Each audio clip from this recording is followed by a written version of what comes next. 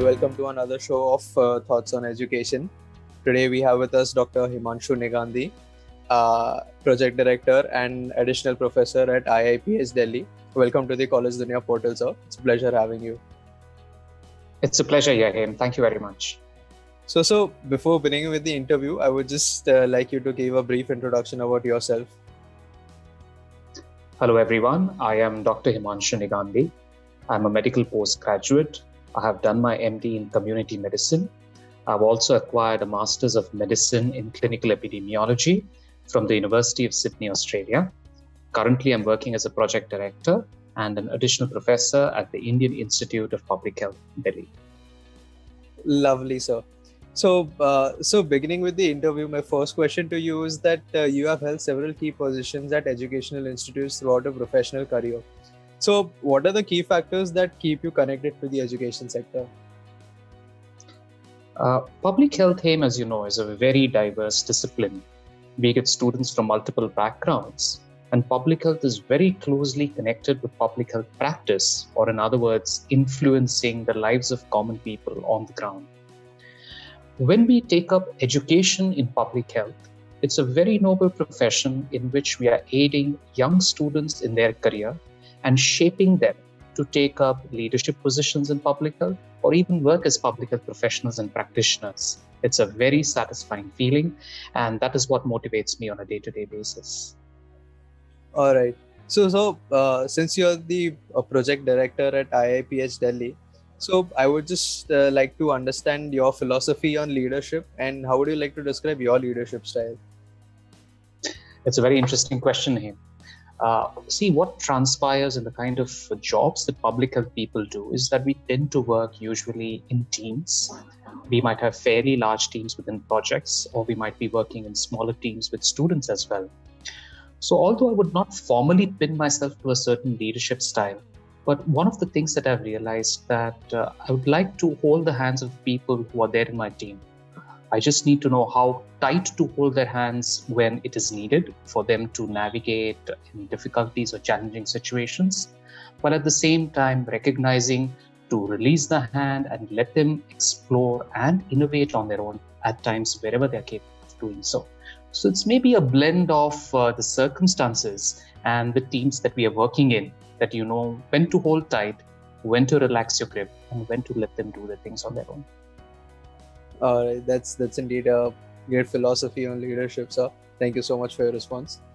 Moving on, uh, on that note, my next question would be that uh, how do you strategize about the key programs and plans for marketing and administration of IIPH Delhi?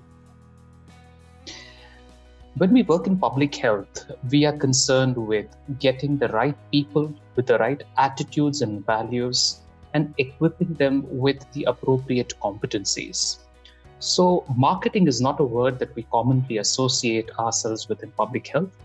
I would say that we focus more on the quality of the product. So, we are more interested into what the student actually gains out of the program or out of the experience that he or she spends time with us. So, we tend to model ourselves on the philosophy of excellence, where we try to give them the best that we can. And that for us is the best form of uh, supporting public health initiatives as well as, if I put it in your words, marketing of the program. Right. So, how, how are you ensuring the right practices of the industry? Right. In public health, it's more out of conscience that people operate. At the same time, we need to recognize that we need to respect the rights of individuals and at the same time equip ourselves with the right scientific rigor so that any decisions that we make as individuals or working in public health are solidly backed by science and at the same time are acceptable to the population as a whole. So it has to be a blend of the two things going together that I think probably serves the purpose for us. Right. So, uh, although so uh, public health has always been a very crucial, uh, has always played a very crucial role in everybody's lives. Post the pandemic, what do you think should be the uh, institute's top priority over the next ten years? Right. Uh, public health has been brought very much to the forefront post the COVID pandemic. But even before the pandemic, we had public health professionals who were tirelessly working but working behind the scenes, where they supported systems, undertook needs assessments, delivered interventions, as well as evaluated them over time. All these public health initiatives have been very important, not just in designing surge responses, but also in maintaining the level of response that the health system provides for any day to day or even for exceptional challenges that come along the way. COVID has reminded us that we need to systematically invest within our systems. But when you say what we should be prepared for in the future, my take is that public health needs to give the right competencies to its students. And by competencies, they should be transdisciplinary, which give them the skills of a generalist to come up with any situation that is thrown up to them. So today it might be a pandemic which is COVID, but tomorrow it might be a new vector borne disease or maybe the common problems of non communicable diseases, which are so very important in India. So we need to probably focus our attention towards giving the appropriate competencies that are relevant to the context of India, but at the same time recognizing that the challenges will keep on changing, but it will be the same people who have to understand how to address anything that is thrown at them. So it's quite a difficult task and it requires us to be up to date ourselves so that we can give the appropriate skills and competencies to the students. Absolutely, sir. Absolutely. Uh, so, uh, coming to the next question from uh, the vision of the uh, coming 10 years to moving a bit, a couple of years in the past, I wanted to know that uh, when you first came to Indian Institute of Public Health, what was your vision for the institute? Has it evolved over time? And uh, how far along in implementing that vision are you? I joined the institute as a young faculty member, uh, probably fresh out of my MD and my master's.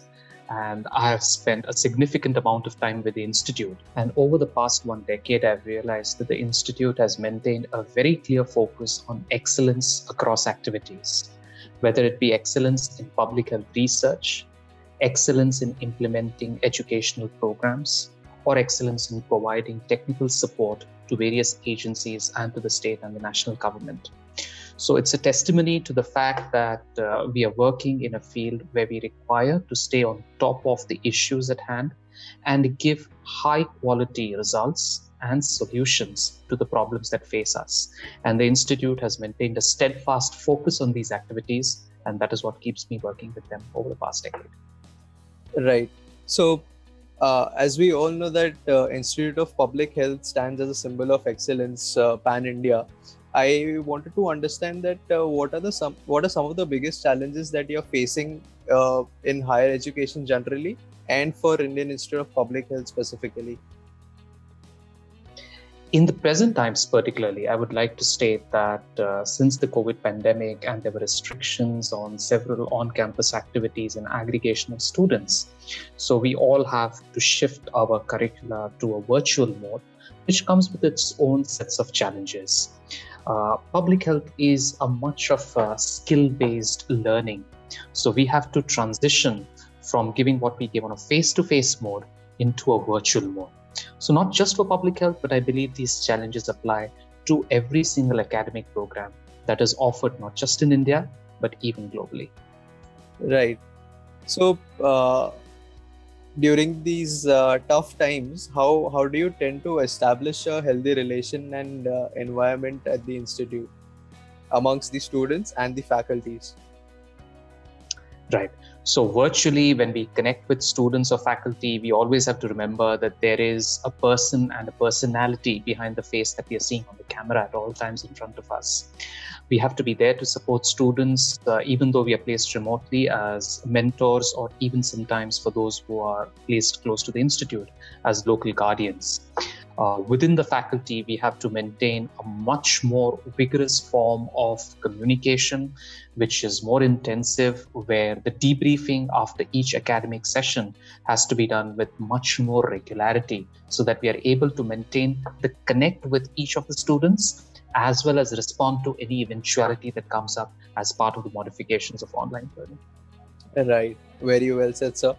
Uh, on that note, I would uh, quickly like to move to the last part of the interview and uh, request you to give a few suggestions and advices to the current youth and uh, students aspiring to study public health at Indian Institute of Public Health.